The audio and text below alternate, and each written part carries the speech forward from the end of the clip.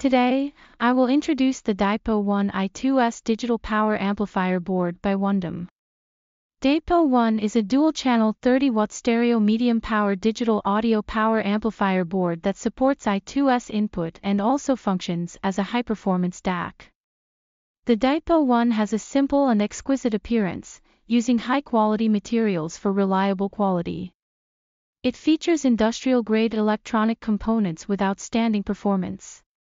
It supports DC 10 volts to 24 volts power voltage. The power interface uses Molex MicroFit plug-in terminals, allowing power supply to the DIPO 1 by connecting the cable harness. Additionally, the DIPO 1 supports battery power. Simply connect the Wondom battery board to the port on the board using a 4-pin cable for convenient use. With a DC 24 volts power supply and a 4 ohm load, each channel can achieve a 30 watts output.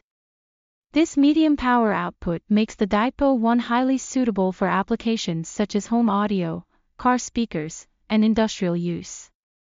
Thanks to the TI TAS5756 chip, this power amplifier board achieves high efficiency of up to 90% and an SNR of up to 102 dB.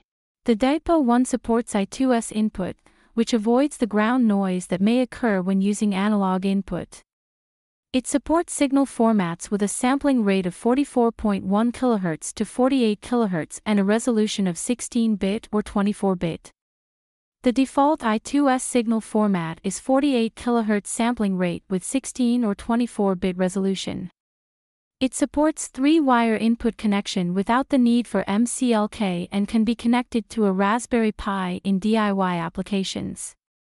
Furthermore, if you have an I2S audio source, you can directly input it into this power amplifier.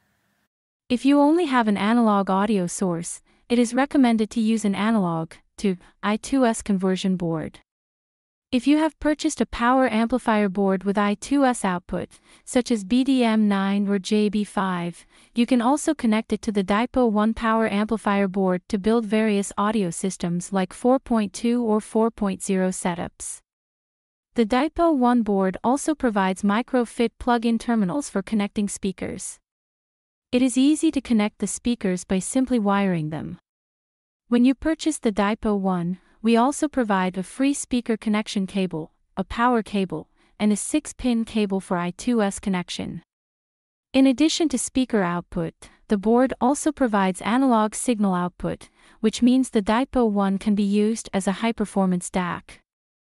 This signal can be output to an analog amplifier or active speakers. The board also has a volume control port for external volume knobs. It supports standby control, and when shorted, it enters standby mode. Now, let's listen to its sound quality. For this demonstration, we are using our stereo 30 watts DIPO 1 CS5343 signal conversion board and a pair of 2.5 inch full range speakers. The CS5343 analog to I2S conversion board converts analog signals into I2S signals.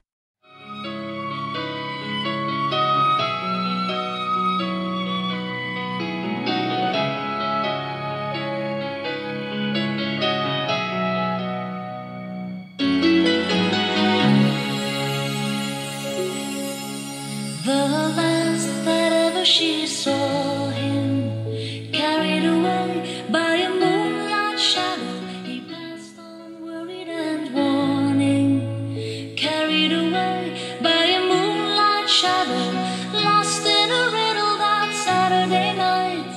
Far away on the other side, he was caught in the middle of a desperate fight, and she couldn't find how to push through. If you found this video helpful, please kindly consider liking, sharing, or leaving a comment. Thank you for your support and valuable feedback.